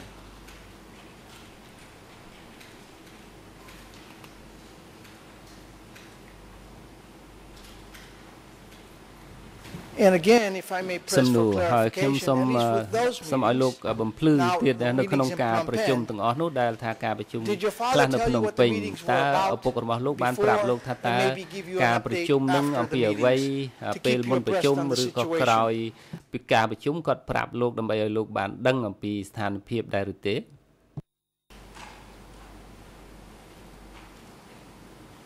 អត់បានដឹងទេបាទគាត់ក៏អត់ប្រាប់ដែរ មានប៉ុណ្ណឹងសំណួរដើម្បីឲ្យប្រកាសថាខ្ញុំយល់ច្បាស់អំពីចំណុចនេះឬក៏តឡាការបានជ្រាបច្បាស់នោះនៅពេលដែលលោកនៅភ្នំពេញកាលនោះតើលោកបានចូលរួមប្រជុំសំខាន់សំខាន់ឬក៏មហាសន្និបាតមហាមេតិញណាទេ ដែលគេអាចចេញសេចក្តីសម្រេចណាមួយនៅពេលនោះដែរឬទេអត់ទេបាទ And just as a follow up បាទបន្ទាប់ពីនោះទៀតលោកបាននិយាយអំពីឪពុករបស់លោកថាតើមានអ្នកណាផ្សេងទៀតប្រាប់លោកថាតើអាចមានអ្វីកើតឡើងមានសេចក្តីសម្រេចឬក៏ប្រធានបទអីគេដែលពិភាក្សាហើយមានការសម្រេចអ្វីនៅក្នុងការប្រជុំទាំងអស់នោះឬក៏មហាមេតិញទាំងនោះនោះខ្ញុំអត់ដឹងទេបាទ Thank you មេធាវីសូមអរគុណប្រធានបទចុងក្រោយរបស់ខ្ញុំមកខ្ញុំនិយាយដោយសង្ខេបអំពីការសម្ភាសរបស់លោកបទសម្ភាសបាទបទសម្ភាសមួយចំនួនដែលលោកបានឆ្លើយនោះ គូកត់សម្គាល់ថាលោកបានផ្ដល់ភស្តុតាងនៅពេលដែលសហព្រាញ្ញាសួរលោកនោះនៅពេលមួយដែលថាការចងចាំនឹងក៏ត្រូវរំលឹកឡើងវិញមុនពេលដែលប្រាប់ទៅអ្នកស៊ើបអង្កេតពីព្រោះថាលោកមិនអាចនឹកឃើញភ្លាមភ្លាមបានតើលោកអាចមានសេចក្តីពន្យល់អ្វីទេថាហេតុអីបានជាបែបនឹងដែលថាលោកអាចយល់ដឹងរស់រវើកថ្មីថ្មីដោយលម្អិតនៅពេលដែលផ្ដល់ការ សម្ភាសទៅឲ្យអ្នកស៊ើបអង្កេតប៉ុន្តែមួយឆ្នាំពីរឆ្នាំចុងក្រោយមកលោកមិនមានការចងចាំលម្អិតនោះទេសូមលោកពន្យល់តឡាការបាទបញ្ហាហ្នឹងខ្ញុំចង់បញ្យល់ចេះតង់ថាពេលមកសួរអញ្ចឹងសួរបថុចញុចខ្ញុំក្តាប់បានតែពេលទៅសាកសួរដោយសន្ទនាគ្នាលេងលើកឧទាហរណ៍ពីនេះពីនោះនៅណាអីនៅណាអញ្ចឹងទៅខាងស្រាវជ្រាវគេចងក្រង ដល់ចងក្រងទៅយកជាឯកសារហ្នឹងមកយើងមកមើលទាំងអស់គ្នាអាហេតុការពីថ្ងៃនេះកើតដល់ថ្ងៃនេះវាវាមានស្អីស្អីស្អីអញ្ចឹងចិត្តតែរៀបរាប់បានដែរដល់មកសួរឲ្យឆ្លើយថុចញុចអញ្ចឹងខ្ញុំឆ្លើយមិនត្រូវដែរបាទនេះវាចង់ចង់បញ្ជាក់ប៉ុណ្ណឹងហើយខ្ញុំក៏អត់យល់ដែរបាទហ្នឹងមួយពីរទៀតខ្ញុំមកនៅក្នុងសាលប្រជុំមនុស្សច្រើនយើងវាមិនដែលចូលក្នុងវេទិកាគេដល់អញ្ចឹងឆ្លើយទៅវារទេបរតបហើយរៀបរៀបពាក្យក៏ខ្ញុំមិនចេះរៀបពាក្យទៀតនេះចង់បញ្ជាក់ជូនលោកអញ្ចឹងព្រោះខ្ញុំវាវប្បធម៌ក៏មិន មិនបានរៀនសូត្រជ្រៅជ្រះពីអក្សរសាស្ត្រអីអីគាត់រៀនអានអានហើយនឹងសរសេរនៅប្រកបតែប៉ុណ្ណឹងបាទសូមបញ្ជាក់ជូនលោកប៉ុណ្ណឹង That explains that មេធាវីខ្ញុំអាចយល់ការបញ្យល់របស់លោក I hope I haven't been ខ្ញុំ bombarding you សង្ឃឹម with ថាខ្ញុំមិន questions. ផ្ទុញលោក taking it ដោយសំណួរ rather slow. ច្រើនពេកទេខ្ញុំសួរយឺតយឺត but let me តែប៉ុណ្ណោះ ask you, ប៉ុន្តែខ្ញុំសូមសួរ uh, លោក when you- បន្តទៅទៀត when you were conducting នៅ these ពេល interviews ដែល in លោក this ផ្ដល់ sort of សម្ភាសន៍នេះ conversational style setting ដែលជាបែបការ where you សន្ទនា could gather your thoughts ដែល and លោក collect អាច your ប្រមូល memories. ការចងចាំហើយ Did the គិតឃើញ investigators បានថាតើ who អ្នកស៊ើប talked to អង្ you កេតដែលនិយាយជាមួយលោក before នោះ you went on អឺ tape មុនពេលដែល to គេ sort of សម្ភាសឲ្យ get a ថត sense ខ្សែ of អាត់ដែរ what ឬទេ knowledge you had, ដើម្បីឲ្យដឹង how ថា good your memory was. អឺការចងចាំម៉េចលោកដឹងអ្វីខ្លះតើមានបែបនោះដែរឬទេ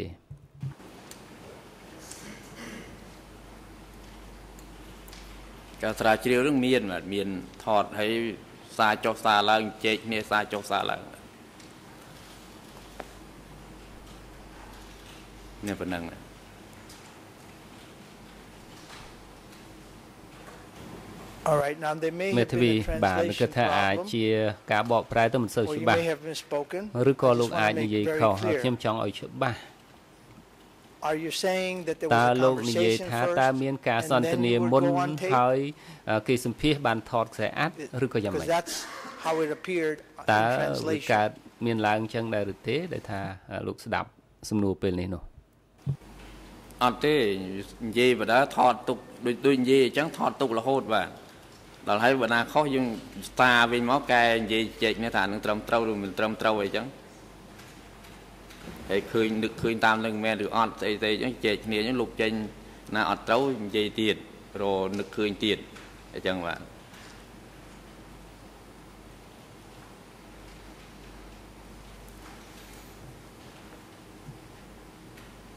I'm not sure I fully មេ understand ធាវី that ខ្ញុំមិន last ប្រកាស part. ថាខ្ញុំយល់ច្បាស់ចម្លើយចុងក្រោយរបស់លោក What do ទេ you mean if something តើ went លោក wrong? និយាយថាបើសិនមានអ្វីខុស Because it would appear that ពី one ព្រោះ way of ខ្ញុំមើលឃើញ interpreting ថា that is ការបក if the correct ប្រែ answer នោះគឺ wasn't តើ given, then ចម្ you លើយ were ត្រឹម given an ត្រូវ opportunity to clean it អឺ up ត្រឹមត្រូវ after looking នៅ at ពេល some ខ្លះគឺថា documents, អាច maybe នឹង having your អឺ memory កែ refreshed. តម្រូវឬក៏ So ខុស please លោក tell us ចេញថា exactly តើ what សូម do you mean by លោក that? ប្រាប់ឲ្យច្បាស់មើលថាតើមានន័យដូចម្ដេចដែលថាអឺកែតម្រូវឡើងវិញឡើងចុះនោះ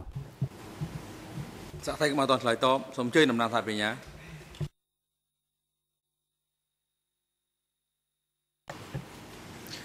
Merci, Monsieur le Président. Je បាទ pense សូម que អ la រគុណ dernière លោកប្រធាន question ខ្ញុំគិតថា devrait សំ être ណួរចុងក្រោយ reformulée នេះ pour ត្រូវ être តែ un peu រៀប plus ចំ ouverte ឡើង pour វិញ permettre ដើម្បីឲ្យមានលក្ខ euh, ណៈ aux បើក témoins ចំហបន្ d'expliquer តិច sans que ទុកឲ្យសា les ក់សី réponses ពន្ puissent យល់ suggérer. អឺជៀស Merci, វាង Monsieur le ដែលឆ្លើយដោយសារមានការនាំមុខពីខាងមេធាវី Your Honor, uh, Mr. មេធាវី President, Your អឺ Honor, just said លោកប្រធាន how. លោកសេចៅក្រម The គឺ classic ថា open-ended questions ហើយ are ការ who, what, where, សួរ how, explain, គឺថា describe. បើកចំហគឺថា It was a ខ្ញុំបាន how. សួរគឺជាសំណួរដែលសួរ How did ពី this របៀប occur? He said បាទ that ថាតើ it would be corrected. កើតឡើងដោយវិធីណា What exactly តើអ្វីកើត Did they ឡើង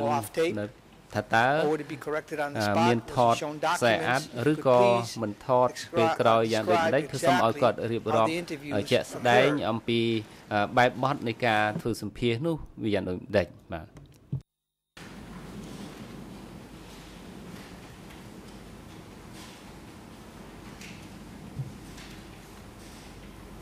សូមឲ្យលោកសួរម្ដងទៀតអត់អត់យល់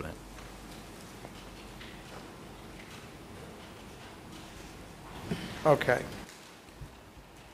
មេធាវី You told us that when you លោ were កបាន interviewed, ប្រាប់យើង you were ថា tape recorded. គេសម្ភាសន៍លោកហើយគេថតខ្សែអាត់ and then you seem បន្ to ទាប់ say មកលោកហាក់ដូចជា that if និ there យាយ was a ថា problem, បើមានបញ្ហា it would អ្វី be នោះ corrected. មានកំហុសនោះគេនឹងកែតម្រូវ Now that's what's being translated, so I have to ហើយ work ខ្ញុំ off ស្ the ដាប់ translation. អឺ My ការបក apologies ប្រែ if ទៅ I'm ជាភា getting សា it អង់គ្លេស wrong. អញ្ចឹងគឺថា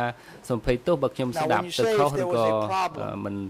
ត្រឹមត្រូវតាម What លោក did you ឆ្លើយ mean by that? នៅពេលដែល And លោក how ថា was it បើមាន corrected? បញ្ហាអីតើបញ្ហានឹងអីជាជាអ្វីហើយកែតម្រូវនោះបែបណារបៀបម៉េចមិនមែនមិនមែនកំហុសទេបាទគ្រាន់តែថាខ្ញុំបញ្ជាក់ចេះឧទាហរណ៍ដូចដូចយើងនិយាយគ្នាអញ្ចឹងឧបមាថាវាវាមិនត្រូវពីការពិតដល់អញ្ចឹងក៏ឲ្យសារមើលនិយាយនិយាយខុសទៅត្រូវចង់បញ្ជាក់ជូនលោកលោកអញ្ចឹងហើយ ស្អីដែលការពិតយើងនិយាយពីការពិតស្អីដែលថាយើងនិយាយទៅវាខុសយើងយើងកែវាកែវាចេញទៅវាមិនមែនជាការពិតចង់និយាយចេះសូមឲ្យលោកតឡាការពិចារណាខ្ញុំប្រើពាក្យវាវាមិនត្រូវ Or, and you know, មេធាវីសូមអរគុណដែលលោកបានបំភ្លឺនេះហើយដែលខ្ញុំចង់ឲ្យលោកបានការបំភ្លឺពីលោកនោះពីព្រោះថាយើងដូចជាឮពីលោកថាលោកបាន ផ្ដល់ការនិយាយនៅពេលចំណុចខ្លះគឺថាអ្នកស៊ើបអង្កេតថាដូចជាមិនពិតអញ្ចឹងទេគេឈប់ខ្សែអាប់ហើយស្ដាប់ឡើងវិញហើយដើម្បីឆ្លើយឆ្លងគ្នាហើយលោកបានទទួលឱកាសដើម្បីកែតម្រូវចម្លើយដែលលោកបានឆ្លើយពីមុនតើការពិតនោះវាអញ្ចឹងឬក៏យ៉ាងម៉េចការពិតនឹងវាអញ្ចឹងបាទអាណាមិនពិតយើងយើងកែតម្រូវវា ចង់និយាយព្រោះការស្រាវជ្រាវពីរឿងអតីតកាលវាវាវាចាំវាវាមិនច្បាស់ដូចដូចយើងថ្ងៃនេះមានផ្ោះតាងដូចដូចសម័យឥឡូវឯណាគេអីក៏កត់ត្រាទុកអីកត់ត្រាទុកសម័យហ្នឹងមានស្អីអត់មានទេអាហ្នឹងអាហ្នឹងមួយហើយពីរទៀតក្នុងក្នុងសង្គមខ្មែរជំនាន់ហ្នឹងវាវាមិនដូចឥឡូវណាលោកលោកទៅយល់ដែរព្រោះគ្មានស្អីជាឯកសារមានអីជាផោះតាងទេ វាអញ្ចឹងវាការពិតនៅតែការពិតនៅក្នុង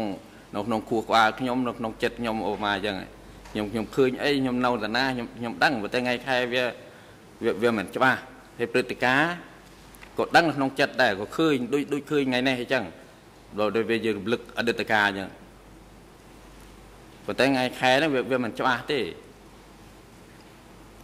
ខ្ញុំសូមបញ្ជាក់ជូនលោកអញ្ចឹង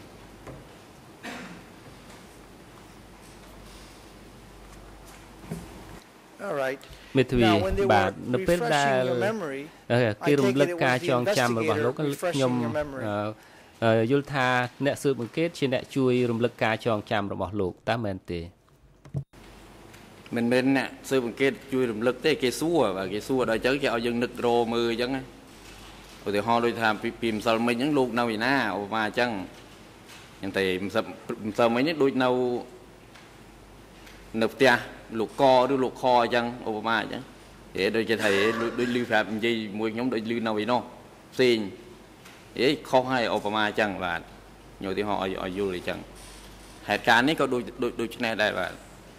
គេជួយជួយជួយរំលឹកអីចឹងជួយសួរអីចឹងបាននឹកឃើញទៅវានៅឯណាអីយ៉ាងម៉េចអីយ៉ាងម៉េចអីចឹងបាទសូមបញ្ជាក់ជូនលោកប៉ុណ្ណឹង Well in putting មេធាវីនៅក្នុងការសួរសំណួរទាំងអស់នោះទៅលោកតើគេបានស្នើគំនិតនៅក្នុងចម្លើយនៅក្នុងសំណួរហើយសូមឲ្យលោកបញ្ជាក់ទៅតាមអ្វីដែលគេនិយាយពី នៅក្នុងសំណួររបស់គេដែរឬទេសួរយ៉ាងម៉េចបាទទៅលោកបញ្ជាក់ម្ដងទៀត Well in the when giving you នៅពេលដែល when try when correcting you នៅពេលដែលគេកែតម្រូវលោកតើពួកគេ suggesting ស្នើនៅគំនិតថាតើណាមួយជាចម្លើយត្រូវខុសដែរឬទេដើម្បីឲ្យលោក to correct your memory កែតម្រូវការចងចាំរបស់លោកដើម្បីឲ្យមានការកត់ត្រាត្រឹមត្រូវនៅក្នុងខ្សែអាត់នោះនោះបាទត្រឹមត្រូវគេបញ្ជាក់ដើម្បីឲ្យខ្ញុំចងចាំហើយនឹងគិត ឲ្យត្រឹមត្រូវបាទ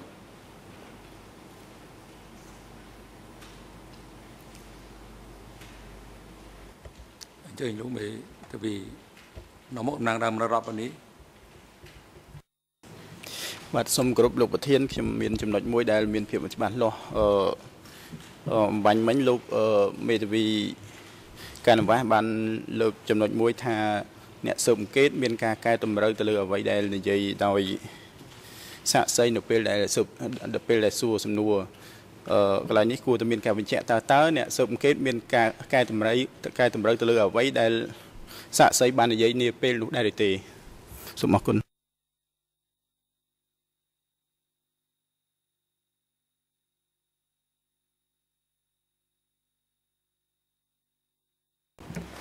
Mr President មេធាវី Canvas លោកប្រធានមេធាវីគឺតែងតែមិនបញ្ជាក់ពីការសង្ស័យទេត្រូវតែជំទាស់ហើយគាត់មានឱកាសក្នុងការសួរសំណួរសាកសីសាកសីយល់សំណួររបស់ខ្ញុំច្បាស់ណាស់ ហើយបើគាត់មានការចម្ងល់គាត់អាចសុំការអនុញ្ញាតដើម្បីសួរសំណួរបន្ថែមប៉ុន្តែខ្ញុំនឹងទៅមួយជំហានម្ដងដើម្បីឲ្យយើងមានកំណត់ត្រាតឡាការត្រឹមត្រូវថាតើការសម្ភាសនោះដោយវិធីណាគាត់ឆ្លើយវិធីណា ឥឡូវនេះលោកសាក់សីលោកបានប្រាប់តឡាការថាមកដល់ពេលនេះនោះគឺអ្នកស៊ើបអង្កេតបានជួយលោកឲ្យរំលឹកការចងចាំតើគេបានប្រាប់បង្ហាញឯកសារអ្វីទៅលោកដើម្បីឲ្យលោកបញ្ជាក់ទីមទាត់ដើម្បីឲ្យលោកយល់អំពីទីកន្លែងកាលបរិច្ឆេទឬក៏ឈ្មោះមនុស្សនៅក្នុងពេលសម្ភាសនោះដែរឬទេ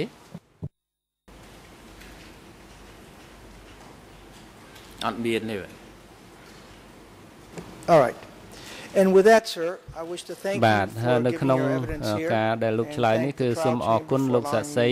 ដែលលោកបានមកផ្ដល់សក្ខីកម្មសូមអរគុណលោកធានលោកសីចៅក្រមដែលខ្ញុំបានឲ្យខ្ញុំសួរហើយសូមឲ្យលោកសាសីមានសុខភាពល្អធ្វើដំណើរសុវត្ថិភាពទៅលំនៅឋានវិញសូមអរគុណ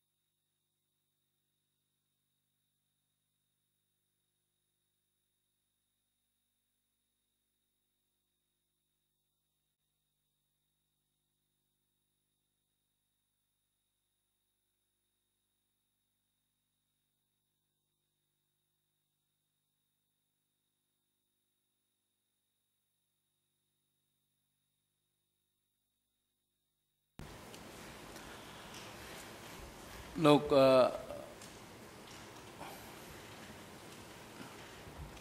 យ៉ាងម៉េចទៅលោកមេធាវី